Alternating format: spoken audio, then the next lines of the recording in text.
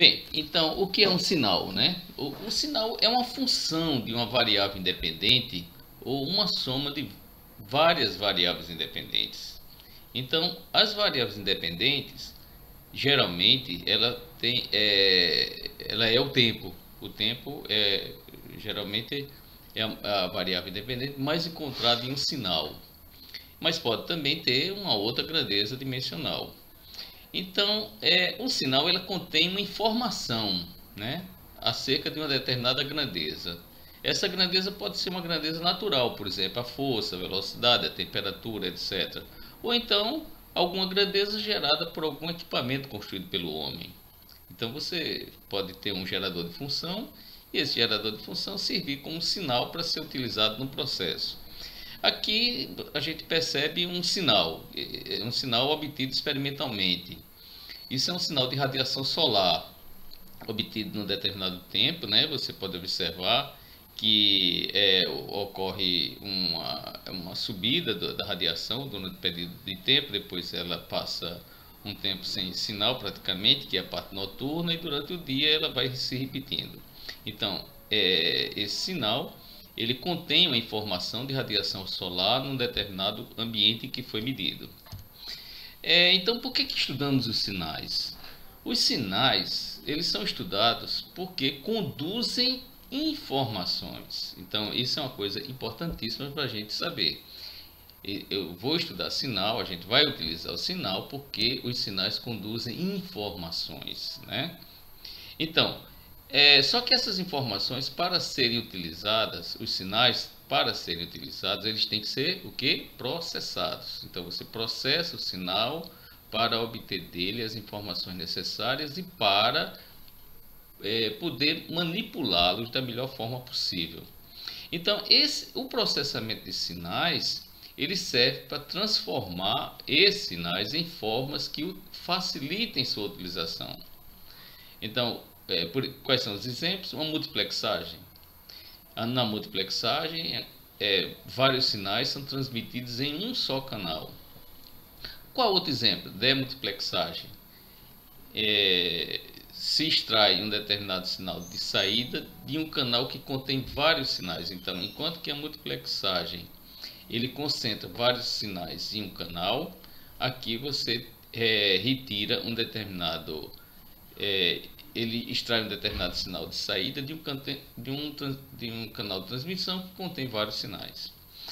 Outro exemplo, filtragem de sinais, os chamados filtros, né? São um, é, o que é um, uma filtragem de sinal? É, é um, procedimento levado a, a, cabo por um sistema que contém como característica separar sinais de determinadas frequências. Então, o filtro ele serve exatamente como, como a palavra está dizendo, a noção é, real da palavra. Filtrar, quer dizer, é, extrair, separar, né? No caso, ele filtra frequências. Bom, então, os sinais. Os sinais, os tipos de sinais. Sinal contínuo. Os sinais podem ser contínuos ou discretos. É, que diferença tem o sinal contínuo e, e, o sinal discreto? A diferença se refere à dis, discretização da variável tempo que é a variável independente. Então, é, um sinal, para um sinal contínuo, o tempo não é discretizado, então o tempo é contínuo, como vocês estão observando. Né? Então, a, em cada momento do tempo existe um valor de sinal. Por isso que a gente diz que o tempo é contínuo. Então, é, esse aqui é um sinal que tem uma variável independente que é o tempo, aqui está escrito aqui tempo em segundos, né? E aqui é o valor do sinal. Ele varia, é uma senoide que vai até 10, o valor de 10. Então, 10 menos 10. Então, ele tem aqui, em cada tempo, ele está mostrado o valor dele. Evidentemente que a gente não pode colocar no, no gráfico todos os valores, os infinitos valores, né?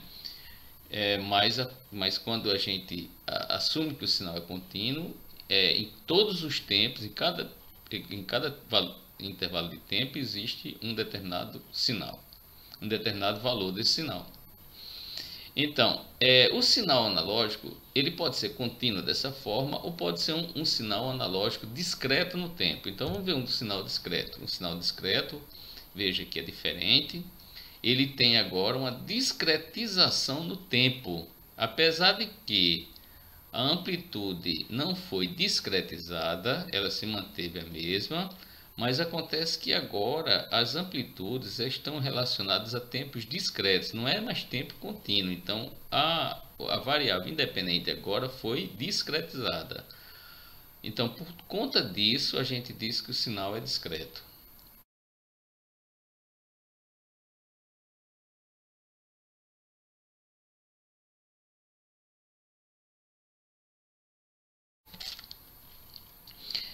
Bem, é, a representação de sinais contínuos e discretos. Um sinal discreto é obtido de um sinal contínuo através do que a gente chama de amostragem do sinal contínuo.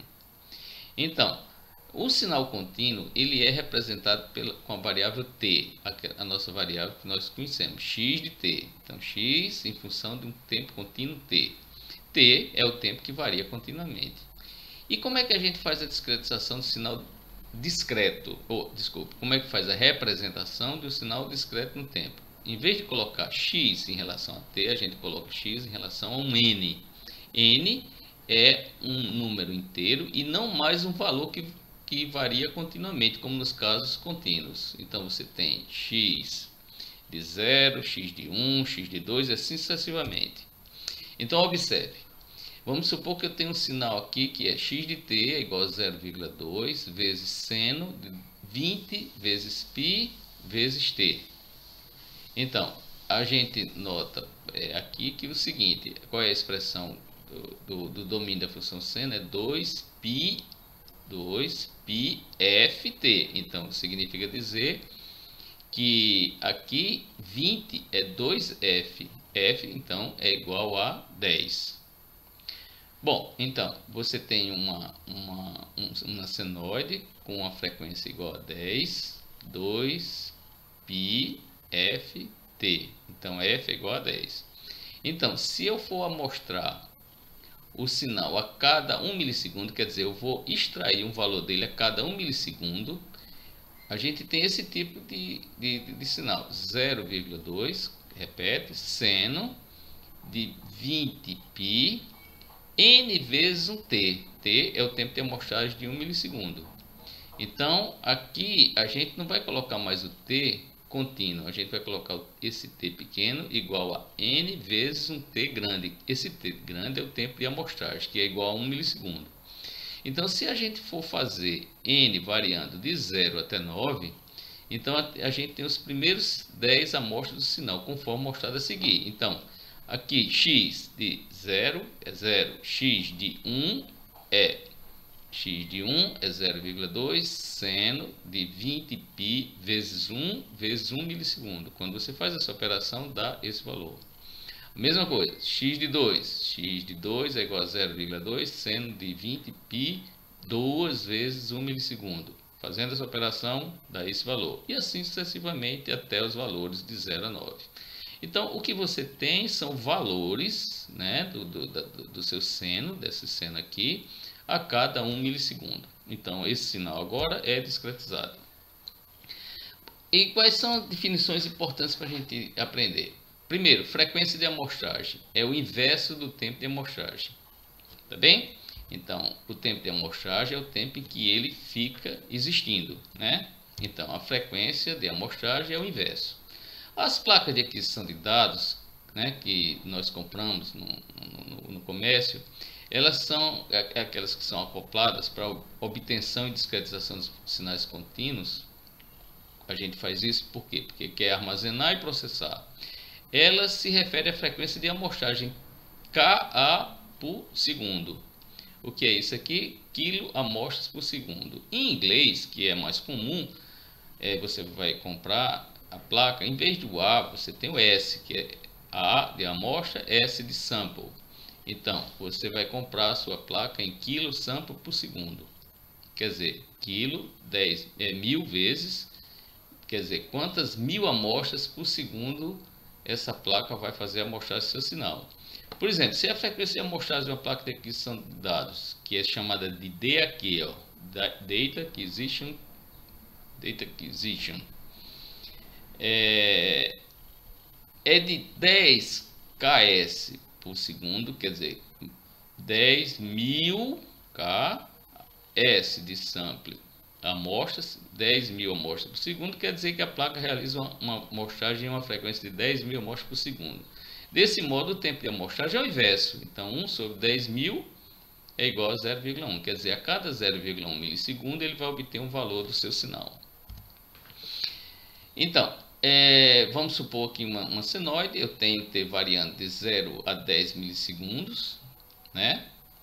É, se eu plotar aqui, é, nós temos aqui 10, 100 amostras do sinal nesse intervalo, se eu colocar uma frequência de amostragem de 0,1 milissegundo.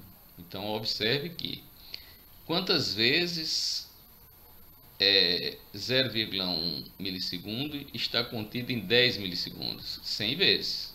Então, se o sinal é 10 milissegundos num período, significa dizer que, que se eu amostrar cada 0,1 milissegundos, esse daqui é 100 vezes maior do que esse, você tem 100 amostras.